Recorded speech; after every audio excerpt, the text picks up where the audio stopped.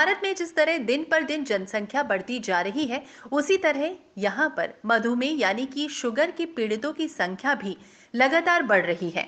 ऐसे लोग शक्कर की बजाय शुगर फ्री का इस्तेमाल करते हैं जबकि ये लंबे समय तक उपयोग करने पर स्वास्थ्य के लिए काफ़ी नुकसान स्टीविया नाम का पौधा मधुमेह पीड़ितों के लिए उम्मीद की किरण लेकर आया है। स्टीविया को मीठी तुलसी भी कहा जाता है। पूर्व में स्टीविया के पत्तों में हल्की कड़वाहट होती थी, लेकिन कृषि वैज्ञानिकों ने स्टीविया की ऐसी प्रजाति का इजाद कर लिया है जो कड़वाहट रहित होती है। स्टीविया शक्कर से भी 30 गुना ज़्यादा मीठी होती है। बस्तर की वादियों में स्टीविया की इस पौधे की फ़सल लगाई जा रही है। जी हाँ स्टीविया का यहाँ जैविक तरीके से उत्पादन किया जा रहा है और केंद्र सरकार की संस्था सीएसआईआर ने कोंडा गाँव के माँ दंतेश्वरी हर्बल फॉर्म और रिसर्च सेंटर के साथ यहाँ स्टीविया की खेती के लिए शोध का करार किया है। कोंडा गाँव में अगले एक वर्ष के भीतर स्टीविया के शक्कर का कारखाना भी खुलने जा रहा है। आ, इस समय आप छत्तीसगढ़ के बस्तर ज़िले के कोंडा गाँव के स्टीविया यानी कि मीठी तुलसी के फार पे खड़े हैं। और यहाँ पे भारत के सर्वोच्च शीर्ष शोध संस्थान C S I R I H B T के सहयोग से कड़वाहट रहित स्टीविया की खेती की जा रही है। और जैसा कि आप देख रहे हैं, पीछे जो स्टीविया लगी हुई है, उसके बारे में मैं बताना चाहूँगा कि सामान्यतः जो स्टीविया की पत्तियाँ होती हैं, वो लगभग इस तरह की होती हैं। लगभग इतनी बड़ी होती हैं। इतनी बड़ी होती हैं जो साधारण तुलसी के पत्तों जैसी। और यहाँ जो स्टीविया लगी है उसकी ज़रा अगर आप देखेंगे तो उसका जो आकार है लगभग 10 से 15 गुना ज़्यादा बड़ा है।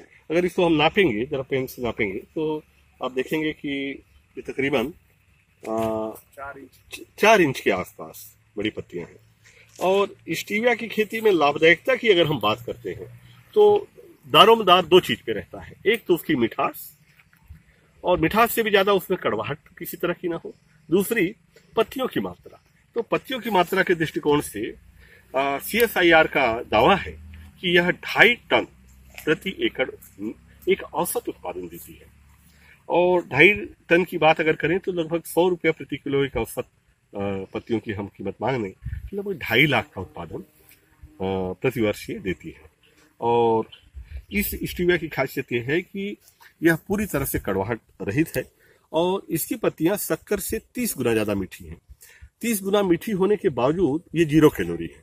ज़ीरो कैलोरी होने के कारण डायबिटीज़ के मरीजों के लिए यह एक तरह से वरदान है और इससे शक्कर भी बनती है और इससे लिक्विड एक्सट्रैक्ट भी बनता है, जो कि आधी बूंद अगर डाल दें तो एक चाय के कप के लिए पर्याप्त है। तो हम इसके लिक्विड और इसकी शक्कर दोनों का कारखाना यही कोंडा गाँव में डालने जा रहे हैं जिसके लिए इसी 2018 के 4 मई को स्थल निरीक्षण हो गया।